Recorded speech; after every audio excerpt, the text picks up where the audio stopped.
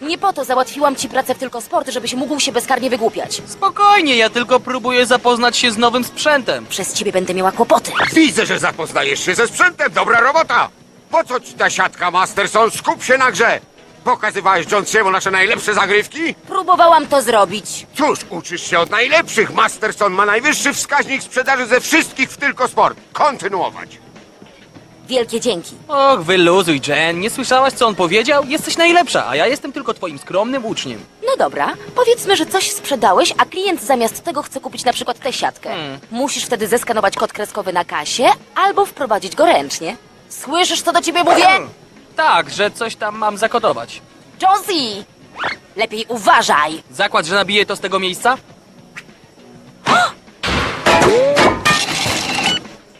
Oszalałeś? Zdemolujesz nam kasę fiskalną! Co się nabiło na kwicie? 21,60. A ile kosztuje ten kij baseballowy z piłką i podatkiem VAT? 21,60!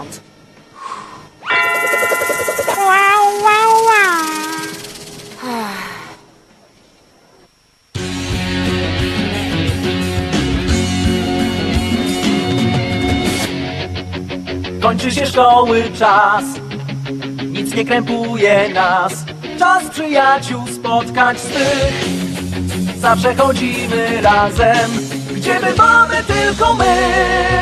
16 mam lat, wiem dokąd iść. Pracę mam i zaczynam ją właśnie dziś. Życie na własny rachunek lat naście Fajnie jest wtedy, gdy dorasta się To najpiękniejszy w życiu czas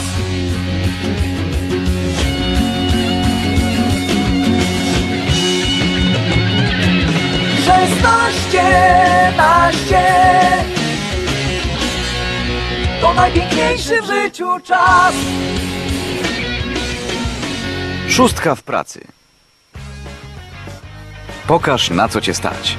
Więc jeszcze raz, jeżeli jakiś klient chce zwrócić towar, to musi nam pokazać paragon.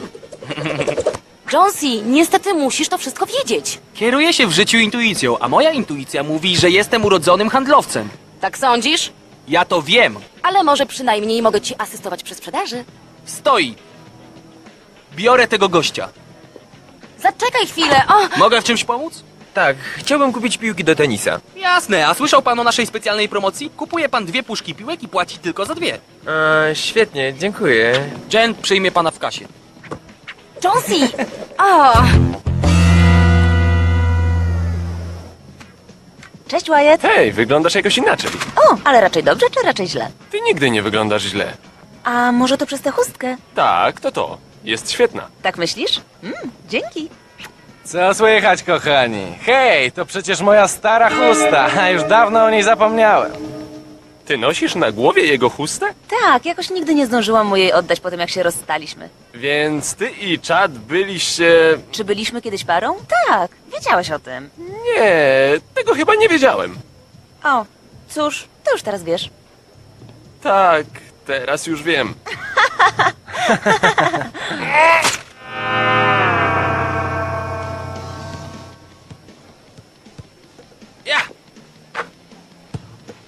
Przepraszam. Jeszcze chwileczkę, próbuję rzucić 100 koszy pod rząd. Super. A ile już trafiłeś? Trzy.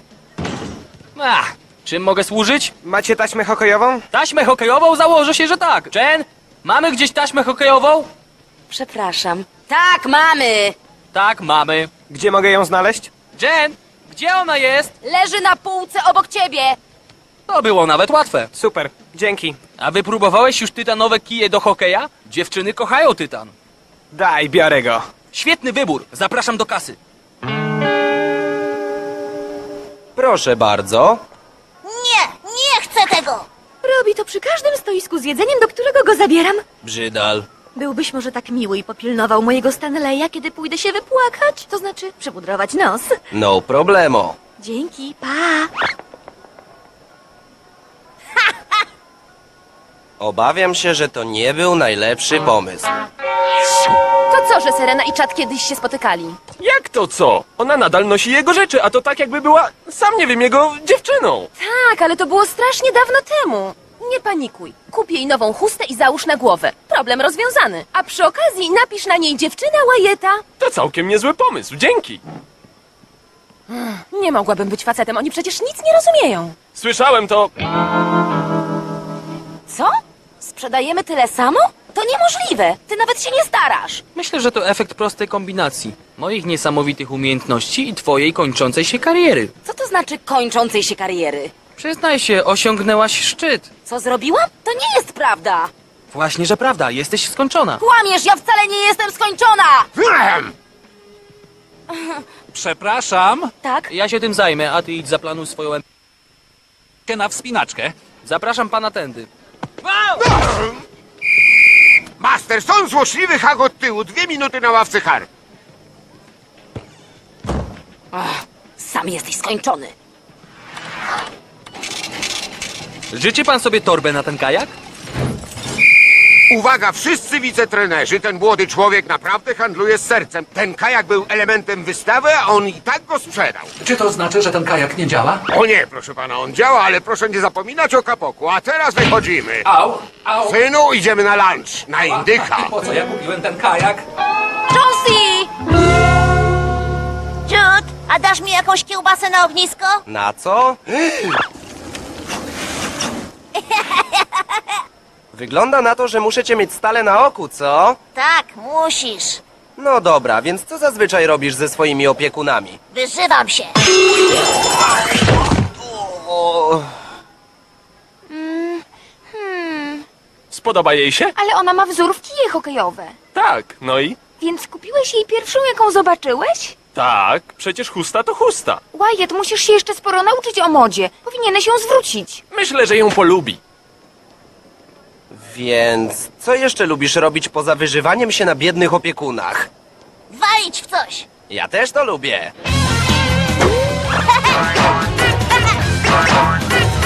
Co się tutaj dzieje? Opieka nad dzieckiem. No dobra, kontynuować. Dałeś już Serenie tę paskudną chustkę? Nie, czekam na odpowiedni moment. Cześć wam. Hej, co to za brzdąc? Jego mama zostawiła go ze mną, żeby móc pójść do toalety. To jest takie słodkie! Ale trzy godziny temu. Rozwalaliśmy rzeczy. Ten mały brzdąc ma całkiem niezłą łapę. Uważam, że to głupota współzawodniczyć w pracy. Masz rację, faceci z natury rzeczy są w tym lepsi od dziewczyn. Słucham? Nieprawda, tylko powinniśmy działać razem. Tak, a ty nie powinnaś się wstydzić prosić mnie o pomoc. A chwileczkę. Nie sądzisz chyba, że faceci są w czymś lepsi tylko dlatego, że są facetami. Nie, nie sądzę tak. Ja to wiem. Prawda, chłopcy? Nie mam zdania. E, może. Przyznaj, że faceci są odważniejsi, szybsi i silniejsi. Jesteśmy po prostu lepsi. O tak? Udowodnij to. Pokaż, na co cię stać. Dobra, wybierz coś, cokolwiek, a my będziemy w tym lepsi niż wy. Dobra, zawody w patrzeniu. Ja i Jude. Myślę, że jest już po tobie, prawda, Jude? E, tak. Kto pierwszy mrugnie, przegrywa. I start!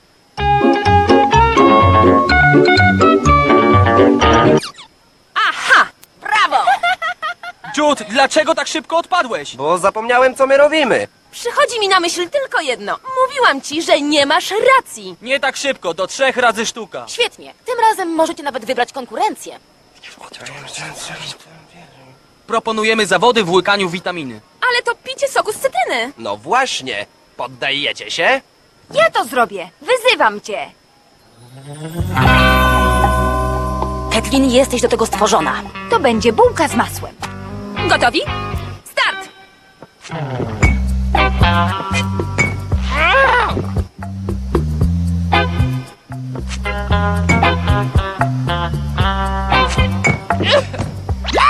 Uwielbiam sok z cytryny.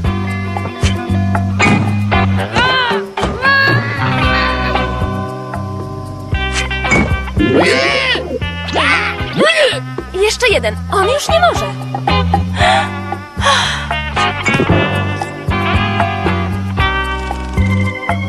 No dalej, ziom! Pokonasz ją! To tylko sok z cytryny, dasz radę, stary.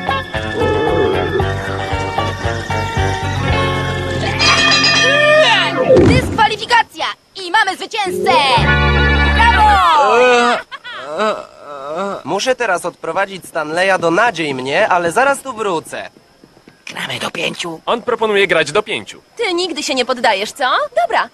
I nawet mam już dla was wyzwanie.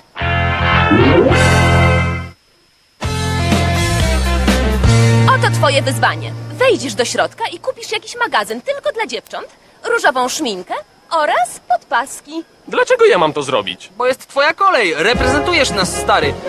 Jesteście już przegrane. Nie zrobię tego. Wiedziałam. Jasne. Ale tchórz, ale tchórz! Wyatt to jest wielki tchórz! Nie zrobię tego, ła, ła, ła. Wiedziałam, że będziemy lepsze. Ha! To jednak upokarzające?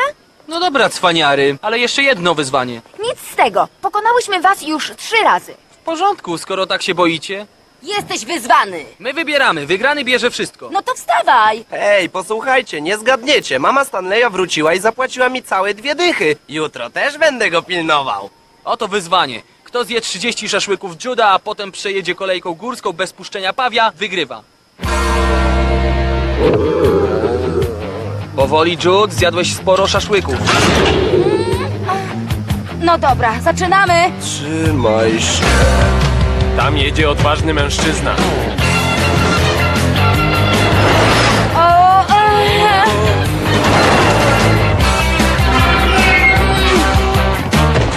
Prawdziwe poświęcenie dla drużyny, stary. Nie puściłeś pawia! Odsuńcie się!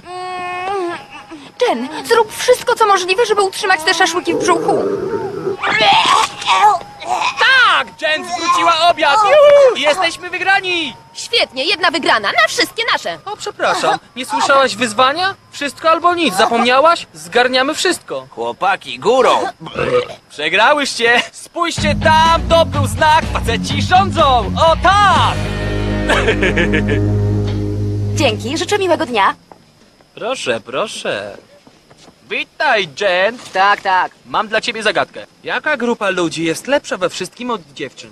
Nie jestem w nastroju. Odpowiedź brzmi chłopaki! Podsumujmy. Wy ciągle przegrywacie, a kiedy raz wygraliście przez przypadek, wtedy ogłaszacie się zwycięzcami. Przegrywanie z godnością jest oznaką dojrzałości, jakbyś nie wiedziała. A to co to jest?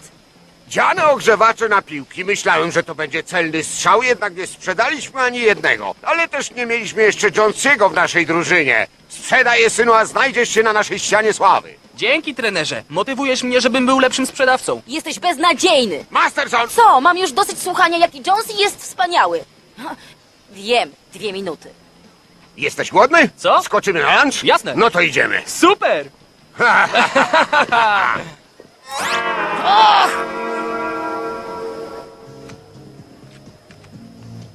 Proszę, mam coś dla ciebie. Prezent? Wyatt jest słodka, ale ona ma wzór w kije hokejowe. Fajna, nie? Wiedziałem, że ją polubisz. Prawdę mówiąc, nie jest w moim stylu. Ale chociaż ją przymiesz, no chyba, że nosisz tylko te chusty, które podarował ci czad. O, więc to o to ci chodzi. Zdaje się, że czad wybiera dla ciebie lepsze wzory niż ja. Zdaje się, że ktoś tutaj ma problem z czadem. To nie było fajne. Rany, musiała się już rozejść fama o moich serowo-rybnych szaszłykach. Czy to ty zapewniasz opiekę nad dziećmi? Eee, nie. Zdaje się, że zaszła tu jakaś... E... My wszystkie zapłacimy ci po dyszce za godzinę od dziecka. Hmm. Więc witam w przedszkolu imienia Juda. Kolejny fantastyczny lunch, Jonesy. Masterson, do roboty! Przyniosłem ci upominek z naszego lunchu. Darmowe cukierki z restauracji? Wzruszające. Ech, wrócę lepiej do pracy. Zostało mi jeszcze kilka godzin na pobicie twojego rekordu tygodniowej sprzedaży.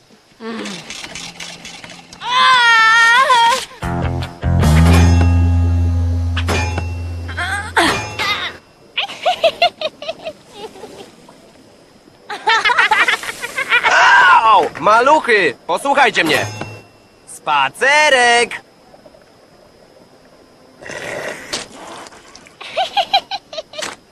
Hej, lody służą do jedzenia. Jonesy, oblazły mnie dzieciaki. Nie wiesz, jak można je powstrzymać? Kup im czekoladki, to je na pewno uspokoi. Jasne. Ała! Uspokójcie się, małe małpy. Zjedzcie sobie lepiej czekolady. Nowy plan. Idziemy zobaczyć, co robi wujek Wyatt. Hej, nie zadzwoniłeś do mnie wczoraj. Byłem zajęty. A ty ciągle chodzisz w tej huście czada, co? Powtarzasz się już jak stara płyta. Więc dlaczego nie nosisz mojej? Wyatt, bo ja chcę nosić tę chustkę. Przykro mi, że ci to przeszkadza. Nie, nie, nie przeszkadza mi to. No dobra, przeszkadza mi to. Tylko niczego nie rozwalcie, maluchy! Jude, co ty tutaj wyprawiasz? Zobaczymy się później, dobra? Musisz mi pomóc. Te dzikie bestie w ogóle nie chcą się uspokoić. Uj!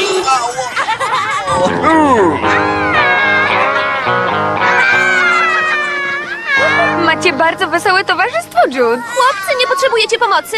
Nie. Mamy wszystko pod kontrolą!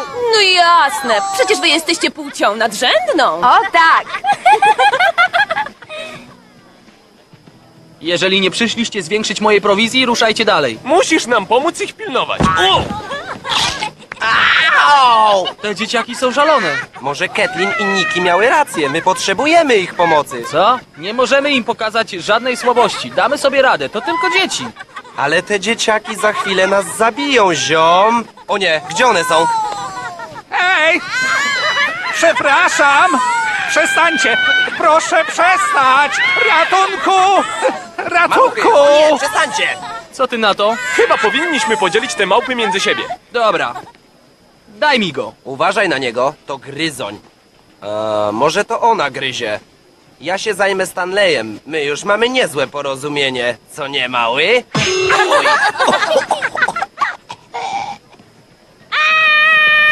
Siad! Zostań! Wiesz co? Dziewczyna nie musiałaby zamykać dziecka, żeby je okiełznać. Przestań, dzieci to błahostka. Jemu się to podoba. Zdaje się, że twoja błahostka się przemieszcza. E, ej, mały! Pożyczysz mi swoją chustę, żebym się z nią pobawił w kowboja? Jasne, czemu nie?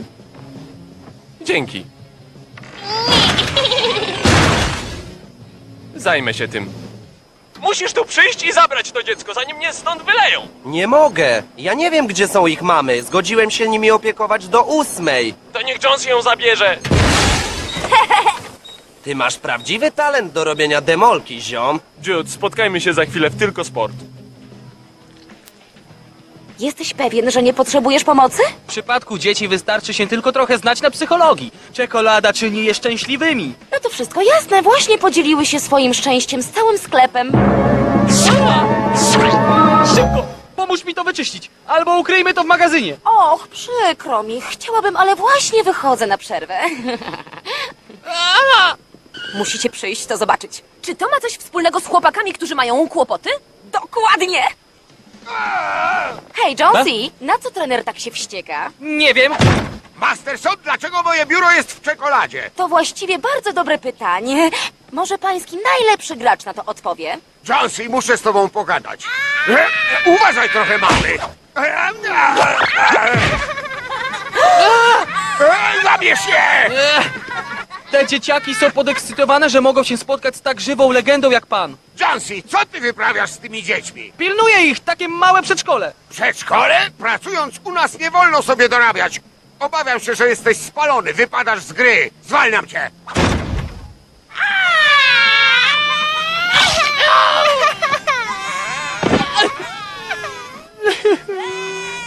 Wiecie co, jakoś moje, a nie mówiłam w ogóle do tego nie pasuje. Pomocy. Słyszałyście coś? Wiesz, nie jestem pewna. To brzmiało jak wzywanie o pomoc. A, pomocy. O, ale to niemożliwe. Kto miałby wzywać? Nie mam pojęcia, tutaj jest wszystko pod kontrolą. I jeżeli potrzebujecie pomocy, z przyjemnością wam pomożemy, prawda dziewczyny? Jasne, oczywiście, skoro jej potrzebujecie. Musimy tylko usłyszeć, że to dziewczyny są ostatecznymi zwycięzcami. Dobra, dobra, dziewczyny wygrały. Co mamy z nimi zrobić? A pomyśleliście, żeby położyć je spać?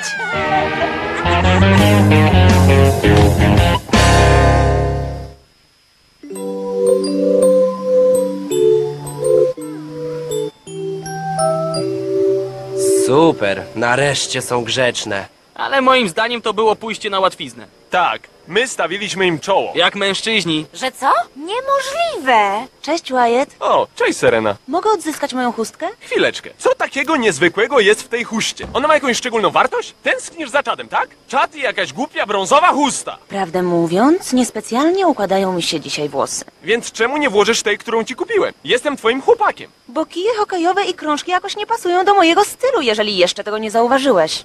O, Tak myślałem.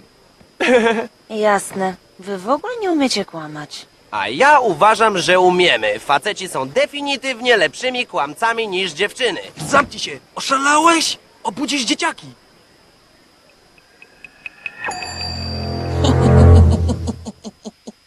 Opracowanie i udźwiękowienie wersji polskiej na zlecenie ZigZap Studio Sonika. Reżyseria Miriam Aleksandrowicz, dialogi Maciej Michalski, dźwięk i montaż Zdzisław Zieliński, organizacja produkcji Elżbieta Kręciejewska. Wystąpili Agata Buzek, Anna Sroka, Katarzyna Godlewska, Maciej Zakościelny, Aleksander Czyż, Modest Truciński, Jerzy Mazur, Anna Apostolakis, Andrzej Hausner, Mariusz Oborski, Karolina Nowakowska, Paweł Szczesny, Jacek Czyż, Magdalena Karel, Magdalena Różczka, Katarzyna Zielińska, Agnieszka Feilhauer, Klaudiusz Kaufmann i inni.